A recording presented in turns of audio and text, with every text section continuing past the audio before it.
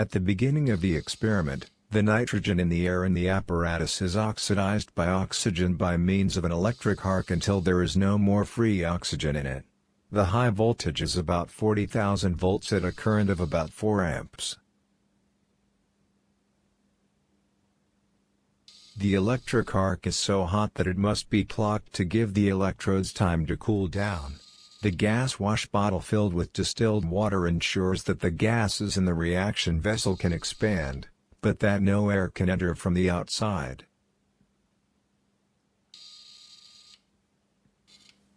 The reaction flask contains 50 milliliters of 75% formic acid and another 50 milliliters of distilled water. I use formic acid because traces of formic acid have been detected spectroscopically in space. In 2000, 0.09% formic acid was found for the first time in the envelope of comet Hale-Bopp, in addition to other organic compounds such as hydrocyanic acid, acetonitrile, methanol, or formic acid methyl ester.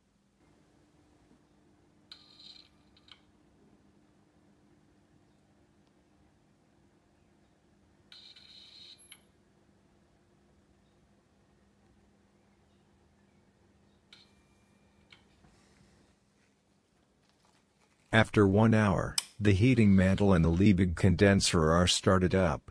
Unfortunately, the high voltage is now discharging across the liquid, which forces me to readjust the electrodes.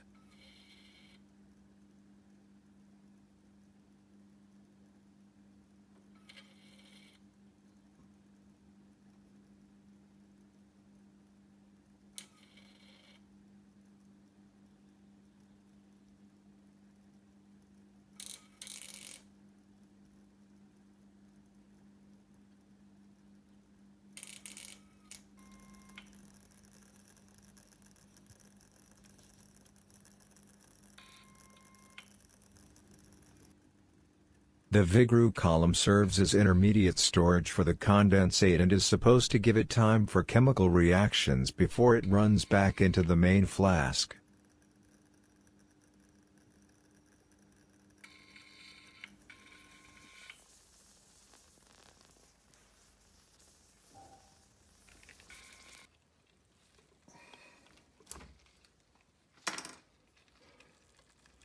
After 24 hours of operation, I let the apparatus cool down and take a sample.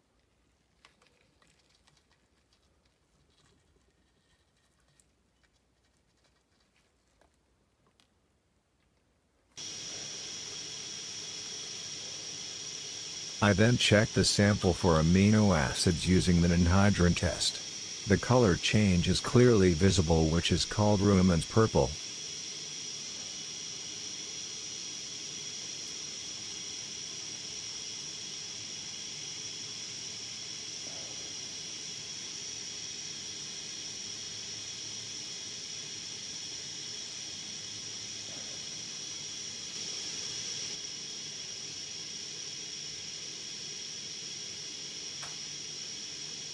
A sample with the initial solution, on the other hand, shows no color change.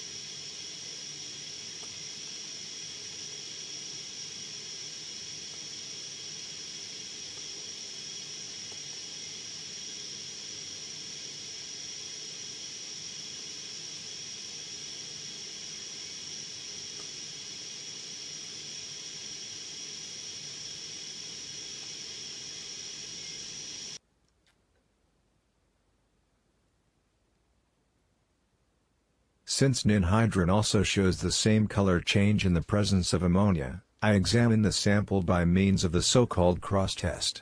For this purpose, the sample is placed in a watch glass, to which concentrated sodium hydroxide solution is added, and covered with a second watch glass, on the inside of which a moistened piece of pH indicator adheres. A second moistened piece of pH indicator is placed on the outside so that it forms a cross hence the name of the test. This ensures that the gas produced really comes from the reaction and not from the surrounding air.